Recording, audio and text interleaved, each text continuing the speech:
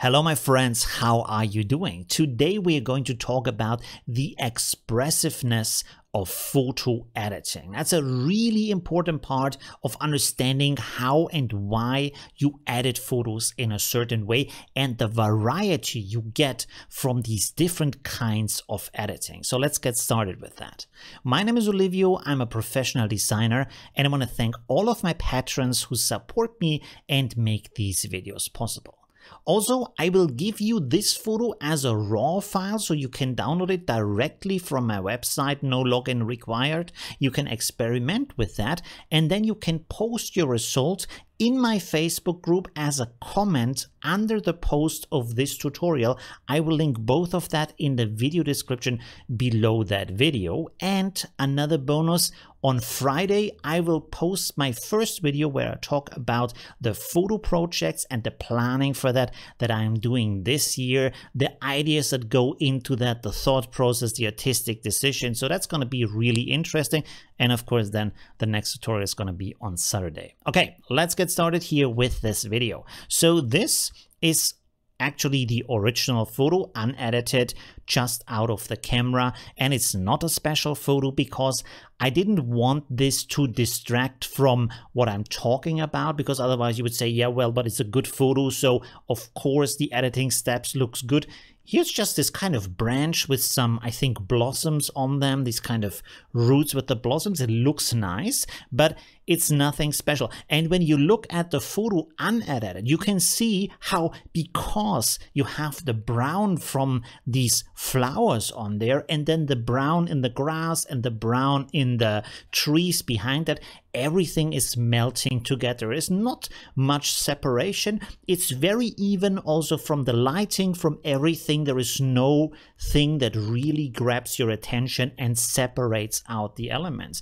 And this is a huge part of editing is that you make clearer to the viewer what you actually want to show. It doesn't have to be in the photo out of the camera, but it has to be in the editing afterwards. Of course, you can also try to do it in the camera if you're good enough with that, but editing adds this huge possibility. So let's look at different versions here. Here's the first version that I have created, and you can see this is rather reduced from the colors. Still, everything is very brown even with the background, but now the colors are nicer, so that's a big difference. And you can see that the background has more of kind of a grayish touch in there, so you still have a bit more separation of the foreground and the background but at the same time what you can see is because there is no more of that green in here is that a lot of the noise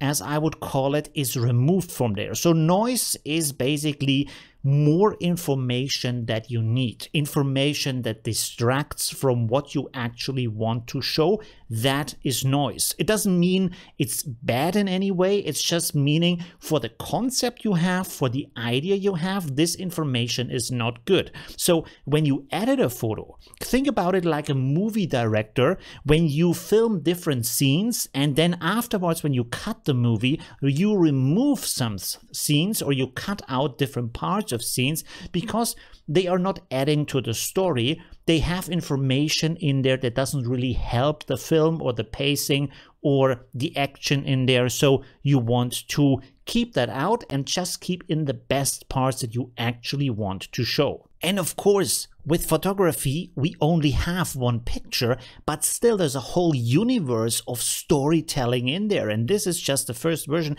Let's go to the second version here, which is this one. And you can see how different that is from the other version. It feels a lot denser, it feels a lot meatier. So this, because the colors are so light, it also, it's brighter in the background, it feels a little bit floatier, a little bit lighter.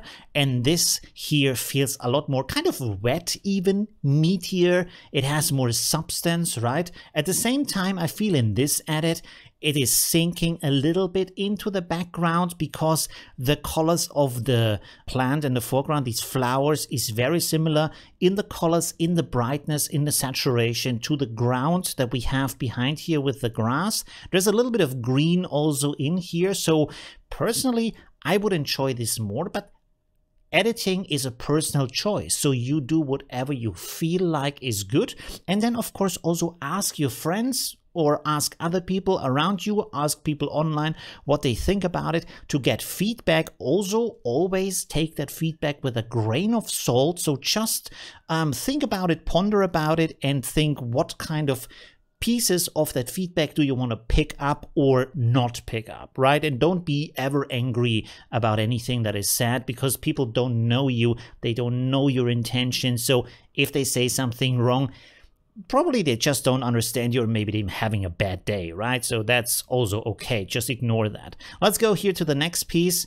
So you can see here, very different. And this is another thing you can do with photographs is removing a lot of the information by making it a lot darker, just having some parts peek out and then the rest is kind of vanishing into darkness, into the background. You can see through that it can become rather focused. It can become rather mysterious in that case because we have this forest here. Think a little bit about the scene, think a, bit, a little bit about the story. So we have these muted dark colors in here right now. It feels a little bit like a witch story, kind of a ghost story, ghost film, a little bit mysterious from that scene. So that could be really interesting to think about that. Also, this kind of blue you have back there. So we have kind of a change in the time of day, which is also interesting, which you can do. For example, with the white balance, making it warmer, making it colder, you can introduce different kind of light situations no matter what has happened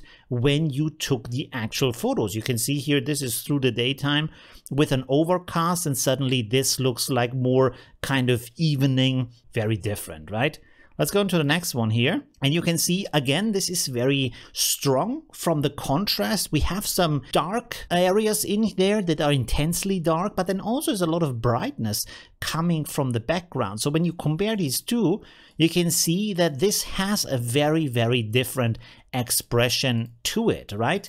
You can also see here, of course, with this dark one, we have a very strong vignette around the outside, while here we don't really have one.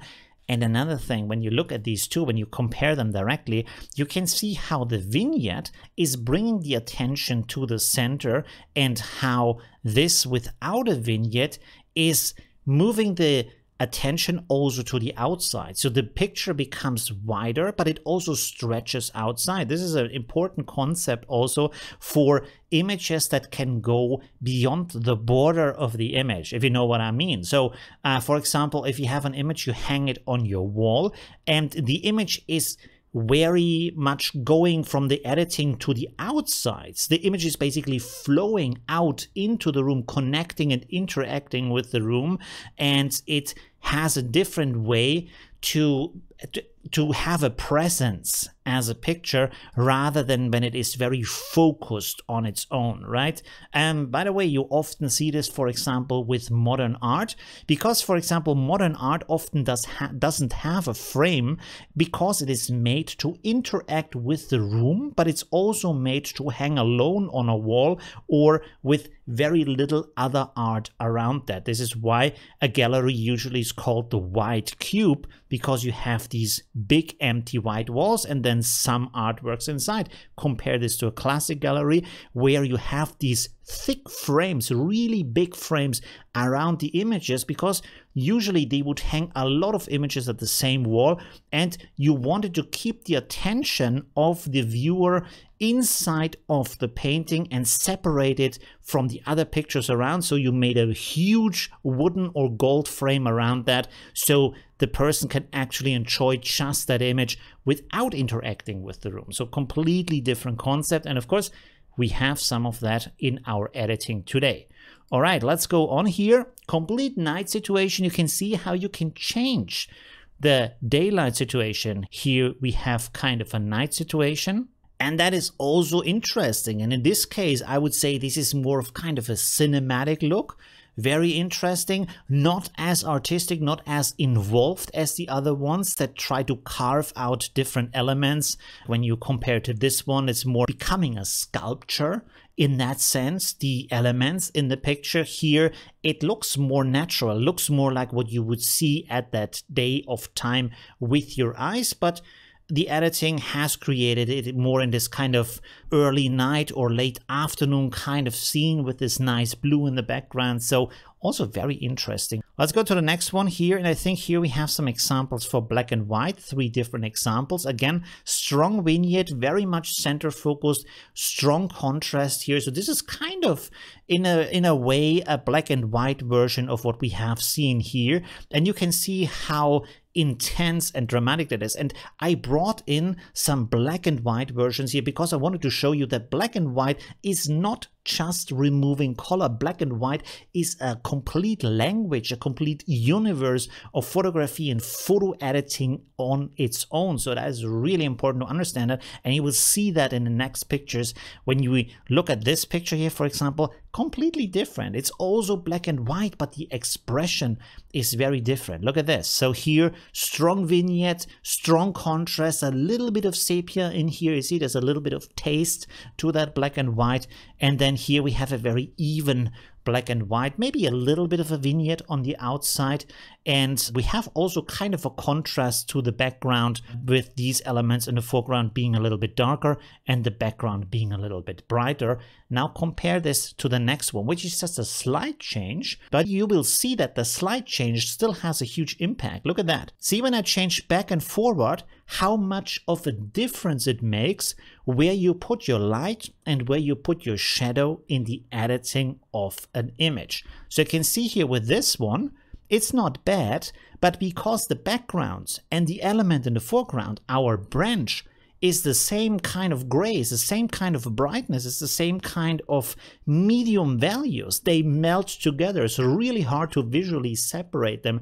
It doesn't stand out and you don't know where to look. So you can see from that that just removing the colors isn't the end of the story for a black and white picture. So with this one, you have a clear structure, you have a clear outline of these flowers of that branch in the foreground separating from the background. And even the blur, even though the blur has not been changed, feels a lot more intensive here and more expressive and more part of the storytelling than you have it here, where just everything is mushed together and it's just, it doesn't tell you anything. It's just there, but it doesn't really give you too much of an image well, here you can really sink your eyes into that and really enjoy these different shapes, how they hang down, how they have been formed by nature. So it's really cool, right? I hope you experiment with that. And by the way, as a last point, I will also want to say that it is good to have different kinds of software to do this editing. When you have, for example, Nik Collection, you have a ton of different presets and experimenting with these different styles, black and white and vintage and color and all these kind of things is very easy because it has presets, it has specialized effects that create these effects here. So it makes it a lot quicker. So think about maybe adding something when you like to experiment in that way to your software toolbox to experiment with that. Let me know please in the comment if you enjoyed this video, if you want to have more content like this, because I really enjoyed making that video for you. Leave a like and maybe subscribe to my channel and don't forget to hit the bell button so you get notified about my next video. Thank you very much for watching and see you soon. Bye.